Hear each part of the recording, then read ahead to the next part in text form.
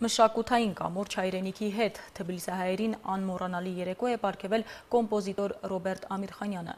Սիրված երկեր եւ կատարումները, որոնք ավելի մոտ են դարձրել նրանց համար Մայր Հայաստանը, պարգևել հաճերի պահել։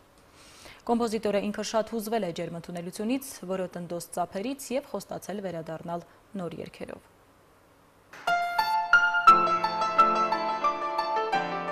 Ռոբերտ Ամիրխանյանին ու նրա ստեղծագործությունների հնչյուններին Թբիլիսահայերը երկար էին սպասել։ Մայր հայրենիքի հետ մշակութային կապերի խորացման խնդրանքով վերջին անգամ Թբիլիսիի հայ համայնքի ներկայացուցիչները դիմել էին Վրաստան այցելած մշակույթի նախարարին։ Հասմիկ Պողոսյանը խոստացել էր բավարարել Թբիլիսահայերի խնդրանքը մեր համայնքներում ընդհանրապես եւ մասնավորապես Վրաստանի հայ համայնքում պահպանելու համար ազգային ինքնությունը մենք երկու կարևոր գործիք ունենք։ Դա մեկը լեզուն է եւ մեկը մշակութային կապն է հայրենիքի հետ եւ հայրենական հայկական մշակույթի հետ։ Մշակույթի նախարարի եւ Վիրահայոց թեմի աջակցությամբ Ամիրխանյանի ստեղծագործական երեկոն կազմակերպած Հայաստանի դեսպանատունը խոստանում է նմանատիպ միջոցառումները շարունակական դարձնել։ Մեծանուն կոմպոզիտորն իր հերթին խոստովանում է, որ հաճելի երեկո ապարգևելով Թիֆլիսահայերին ինքն էլ երջանկացել է։ Դեռևս նոր է ծափահարությունները լռել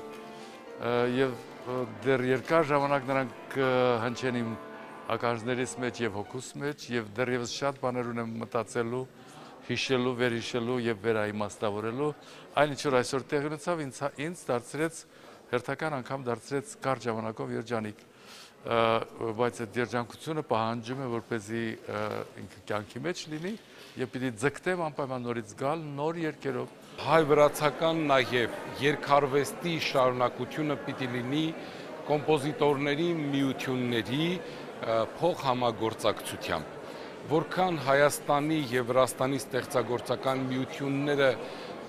ավելի աշխատեն միմյանց հետ այնքան մշակութային կապերը, հոգևոր կապերը պիտի զորավոր լինի։ Մի քանի ժամ տևած երեկոից հետո էլ ներկաները դեռ երկար ժամանակ բաց չէին թողնում անվանի կոմպոզիտորին։ Եթե Ամիրխանյանի սրնդակիցները երջանիկ էին իրենց երիտասարդության վերհուշի երգերով, ապա երիտասարդները կրկնակի գոհ էին առաջին անգամ հենց նրա կատարմամբ անվանի երգահանին լսելու համար։ Ռուզաննա Վարդերեսյան, Գիվի Փեյքրիշվիլի, առաջին լրատվական, Թբիլիսի, Երևան։